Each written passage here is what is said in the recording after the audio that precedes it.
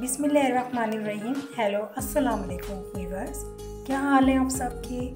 और आज मैं बनाने जा रही हूँ बीफ कोफ्ता। जो बहुत इजी है। बीफ कोफ्ता कड़ी हम बनाएँगे। बहुत इजी है बनाना और बहुत टेस्टी बनेगा। जो मेरे चैनल पे भी न्यू है प्लीज़ मुझे सब्सक्राइब करें ताकि रोज़ की नोटिफिकेशन मिले और आप सब में पहले देख सकेंगे।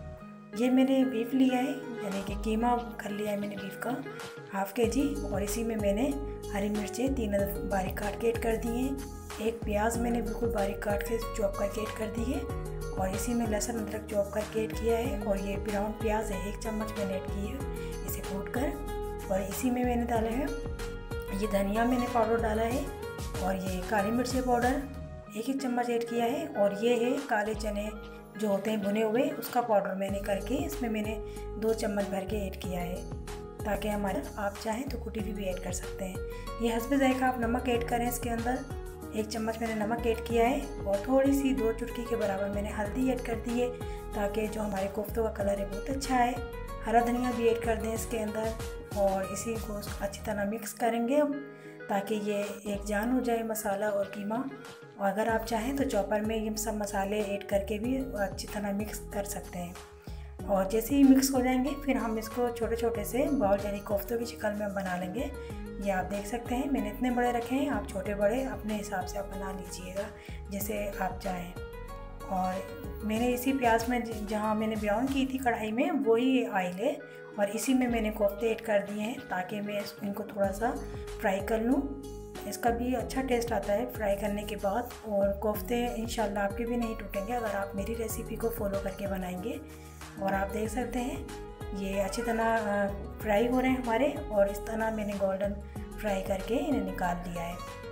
और इसी ऑयल में मैंने लहसुन अदरक का पेस्ट दोबारा ऐड करके और इसके अंदर फिर मैं ये हरी मिर्चें और बाकी मसाले मैं ऐड कर दूँगी, जैसे कि टमाटर, हरी मिर्चें, इसकी ग्रेवी बनाने के लिए, जो अच्छी सी हमारी कड़ी तैयार हो। और ये हल्दी पाउडर है, और नमक है, और ये गरम मसाला, पिसा हुआ धनिया, और ये हमारे पास काली मिर्चें, लाल मिर्चें, और ये थोड़ा सा कौरमा मसाला मैंने ऐड किया है एक चम्मच, ताकि अच्छी सी इसकी खुशबू आए।